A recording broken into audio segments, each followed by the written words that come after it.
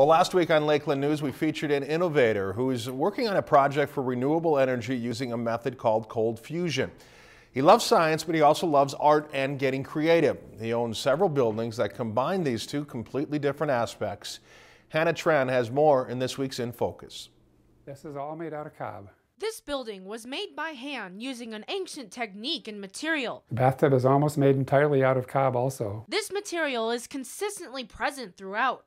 We had to make a bunch of cob bricks and, and stack those up. The material is used as a foundation for the building. It's a mixture of simplicity. This is made out of a material called cob. I also call it mud or, or adobe. Cob or adobe is a simple mix of clay, straw, and sand. And when you mix the clay and sand and straw, it gets hard.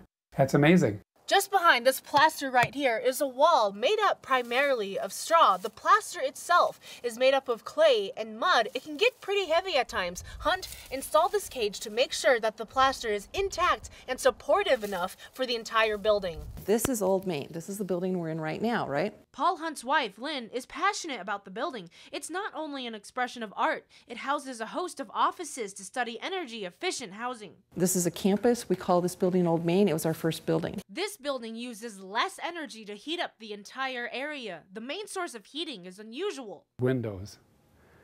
Matter of fact, I would say about 80 per, per, percent of our heat comes in the windows. And it's also efficient during the summer, a time when it's ideal for heat to escape probably most of it also goes out the windows. But it's a mixture of fun and practicality in this building. Not every room was meant to teach a lesson on sustainability. Well, in this room, it's mostly building the the uh, staircase, and a lot of it's just playing around. Once you get your hands in the mud, you just want to play. This ancient technique Making a home with fingertips and clay is laborious. However, for Paul Hunt, it was just another project of enjoyment and education. Hannah Tran, Lakeland News. Stuff. There are several students who work on Hunt's campus site, and there's a mix of buildings on the campus. The campus is about 70 acres in all. If you've enjoyed this segment of Lakeland News, please consider making a tax-deductible contribution to Lakeland Public Television.